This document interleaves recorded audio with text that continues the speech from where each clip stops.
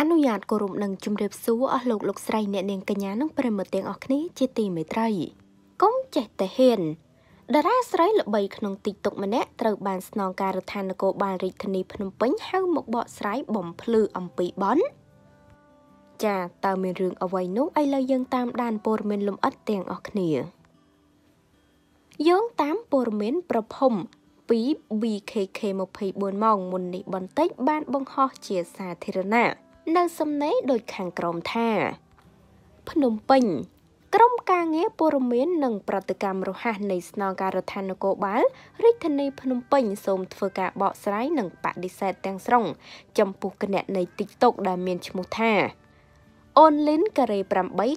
899ដែលបានបង្ហោះវីដេអូដែលមានខ្លឹមសារជេរប្រមាថមើលងាយ ដោយគ្មានភ័ស្តុតាងមកលើសមត្ថកិច្ចកាលពីថ្ងៃទី26ខែកក្កដាឆ្នាំ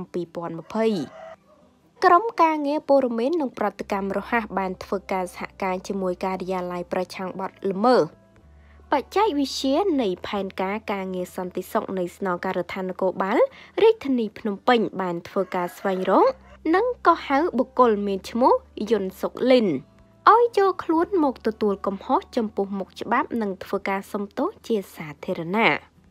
ចានៅពេលនេះតារា TikTok ម្នាក់ដែលមានឈ្មោះថាសុកលីនសមាជិកបានកោះហៅនឹងធ្វើការព្រមានហើយដោយសារតែចោតប្រកាន់ទៅកាន់សមាជិកដោយគ្មានភ័ស្តុតាងធ្វើឲ្យមហាជនដែលបានឃើញវីដេអូរបស់នាងនិយាយហើយមានការយល់ច្រឡំទៅកាន់សមាជិក